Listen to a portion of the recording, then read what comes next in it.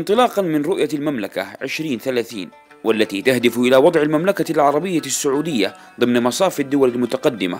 انطلقت رؤية خاصة للارتقاء بمحافظة العلا والتي تحتوي بين جنباتها على عدد من المواقع التاريخية الضاربة في القدم حيث تم تأسيس هيئة ملكية خاصة تهدف إلى وضع وتنفيذ البرامج السياحية والحضارية للارتقاء بها وجعلها قبلة سياحية عالمية للتعريف بالحضارات التي تحتويها.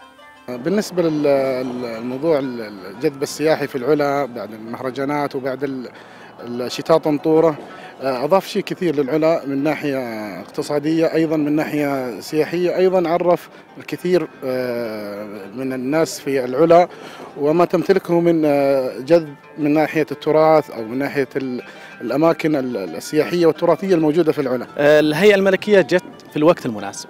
يعني كنا في الزمان يعني آه، ما كان أحد يعرف مدى أهمية التراث عندنا في العلا والأماكن التاريخية عندنا. الهيئة الملكية جت كل الشكر لهم يعني كلمة شكر قليلة فيهم يعني آه، سوت نقلة نوعية آه، للعلا آه، بإظهارها للتراث الموجود عندنا في العلا. وزي ما أنتم شايفين يعني إقبال والناس مستمتعة ومبسوطة في هذا المهرجان اللي هو يحمل عابق تاريخي يخص العلا واهلها.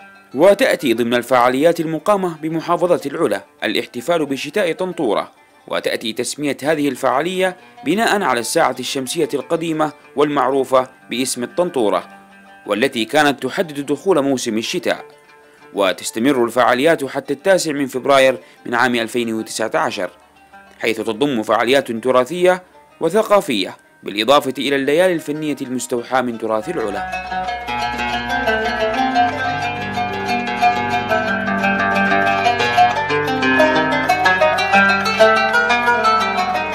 صراحة إحنا مرة فخورين ونشكر الهيئة الملكية ونشكر لفتتهم لها وتطورهم صراحة مرة تطورت العلا وغير كذا يعني آه، أظهروا حضارتنا وتراثنا القديم والحمد لله والشكر يعني على هذا.